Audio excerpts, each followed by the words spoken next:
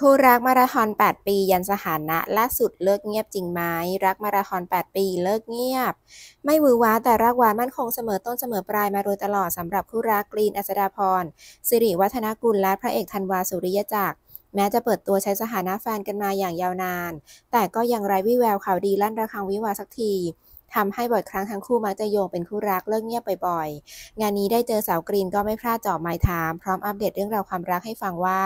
คู่เราค่อนข้างไม่หวือหวาและไม่ค่อยลงโซเชียลไม่แปลกใจที่คนสงสัยว่าเลิกกันเงียบ ยืนยันไม่ได้หายไปไหนไม่ได้เลิกกัน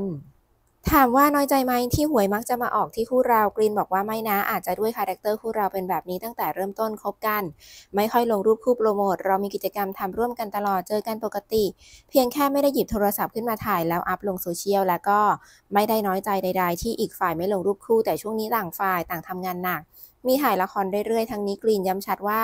คบกันนาน 8 ปีทุกอย่างราบรื่น แต่ข่าวดียังไม่มีเร็วๆนี้ ฝ่ายชายก็มีย้ำๆบ้าง แต่เราก็เบรกไว้ก่อน เพราะยังไม่พร้อมยังอยากทำงานก่อนเขาทำความฝันตัวเองก่อน ซึ่งก็มีการบอกอีกฝ่ายไว้แล้ว ว่าก่อนจะขอให้มาคุยกันก่อนอย่ามาเซอร์ไพรส์เดี๋ยวจะแป๊ก